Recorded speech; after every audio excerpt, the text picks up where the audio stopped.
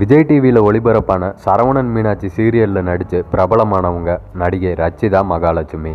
சினிமாவில் தான் முதல் பாகம் இரண்டாம் பாகம்னு பார்த்துருப்போம். ஆனால் சீரியல்லையே பல பாகங்களை கண்ட சீரியல் அப்படின்னா அது விஜய் டிவியில் ஒளிபரப்பான மீனாட்சி சீரியல் தான்.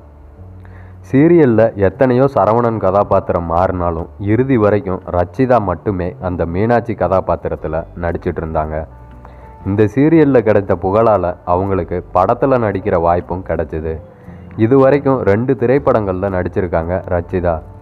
தமிழில் ரெண்டாயிரத்தி பதினஞ்சாம் ஆண்டு ராதாமோகன் இயக்கத்தில் கருணாகரனோட நடிப்பில் வெளியான உப்பு கருவாடு படத்துலையும் அதே ஆண்டு கன்னடத்தில் வெளியான பாரிஜாதா அப்படிங்கிற படத்துலையும் கதாநாயகியாக நடிச்சிருக்காங்க.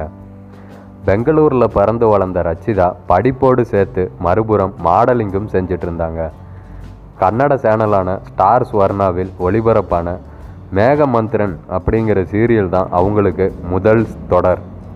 தொடர்ந்து ஐந்து கன்னட சீரியல் ரெண்டு தெலுங்கு சீரியல்களில் நடிச்சிட்டு ரெண்டாயிரத்தி பதினொன்றில் விஜய் டிவியில் ஒளிபரப்பான பிரிவோம் சந்திப்போம் அப்படிங்கிற சீரியல் மூலமாக தமிழில் அறிமுகமானாங்க. அந்த சீரியலில் தன்னுடன் ஜோடியாக நடித்த ஸ்ரீவில்லிபுத்தூரை சேர்ந்த தினேஷை காதலித்து திருமணமும் செஞ்சுக்கிட்டாங்க.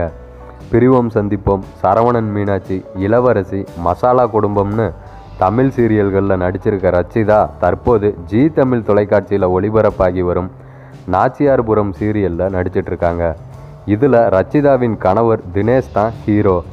அதோட ஜி தமிழில் ஒளிபரப்பான junior senior junior super stars three point o ஆகிய ரியாலிட்டி நிகழ்ச்சிகளில் ஜட்ஜாகவும் இருந்திருக்காங்க.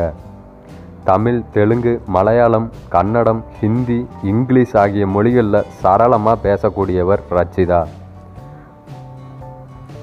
ஷூட்டிங் இல்லாத நாட்களில் ரச்சிதாவும் அவங்களோட கணவர் தினேஷும் ட்ரிப் செல்வதை வழக்கமாக வச்சுருந்துருக்காங்களாம் பிஸ்கட் மீது அலாதி பிரியம் வைத்திருக்கும் ரச்சிதா புது புது பிஸ்கட்களை டேஸ்ட் பண்ணி பார்ப்பாங்களாம்.